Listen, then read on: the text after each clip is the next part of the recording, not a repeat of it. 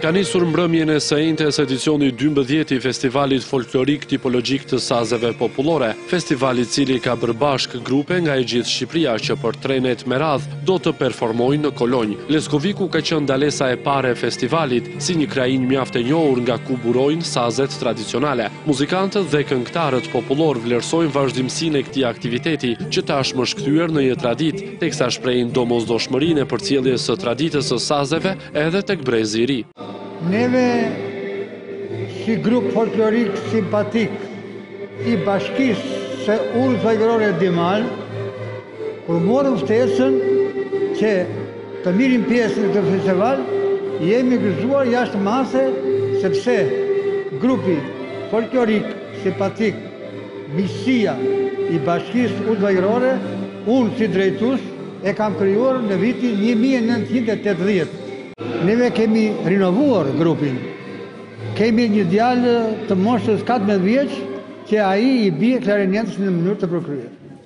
Plus pastaj kemi dhe vajza të vogla të cilat i kemi mësuar që të kërcejnë dhe të mbajmë gjallë folklorin, tabanin popullor. Gjallë dhe kështu për mrekulli.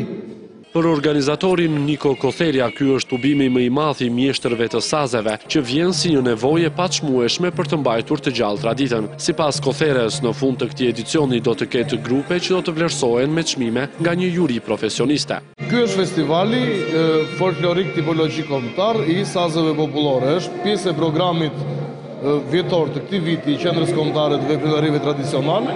Është festivali ose tubimi më i madh që mblidhen gjithë mjeshtrat e sazeve që interpretojnë saze në të gjitha zonat e Shqipërisë ku kjo tipologji lëvrohet. Kështu që ne kemi edicionin e 12 të zhvillohet këtë vit në dy qytete në Leskovik dhe në Ersekë. Dhe besoj se këto aktivitete risjellin përsëri në vëmendje atë vlerën që ka trashëgimia kulturore jo materiale për trashëgimin e tyre ndër breza.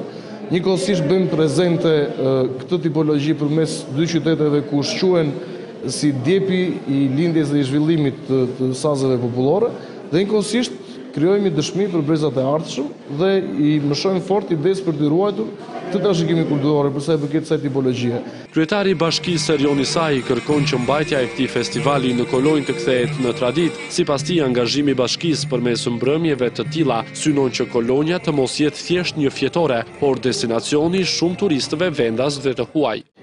Do ta kthejmë traditë tashmë që vendi i sazeve do të jetë për një kohë të gjatë mikpritësi i çdo dy vjet të Festivalit Kombëtar të Sazeve.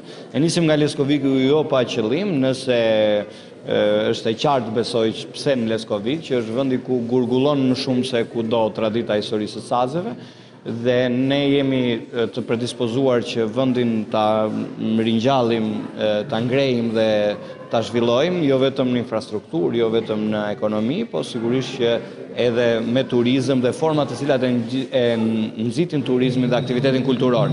Mendoj që qytetet në radhë të parë kanë nevojë të zhbëhen nga të qenit fjetore dhe ne besoj që këto vite po e bëjmë mirë këtë funksion. Në festivalin tipologjik të sazeve popullore marrin pjesë 14 grupe sazesh dhe dy grupe të tjera përshëndetëse nga e gjithë Shqipëria.